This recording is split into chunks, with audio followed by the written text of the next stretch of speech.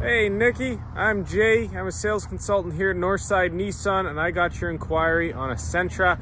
I know you were speaking with Jordan there and we thought we'd shoot over a quick video here. So here is a 2023 Nissan Sentra SR. Now there are some pretty cool features on here. As I'm sure you know, it was recently redesigned. They got a nice facelift. They've also got this little radar system here. So behind that is your front collision warning sensor, um, your pedestrian detection with emergency braking. You've also got adaptive cruise control. So that's your car's eyeball right there.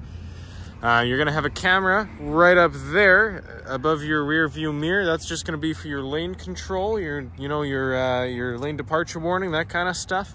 You got some nice blacked out aluminum alloy rims, breakaway mirrors, of course, and keyless entry right on the door.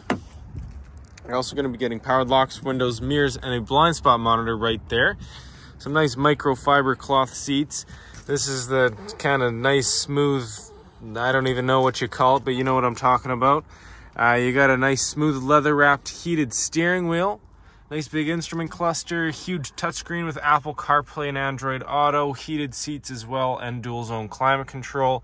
You got sport mode, low gear, your USB charging ports, all that kind of good stuff. You've also got a sunroof up there.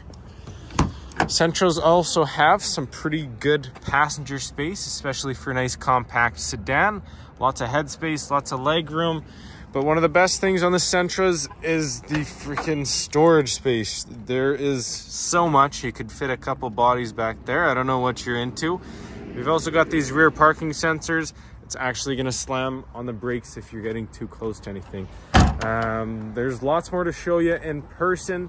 So come on down to 13855 Manning Drive or give me a call at 780-456-1449. Thanks, Nikki. And once again, my name is Jay, so just reach out whenever.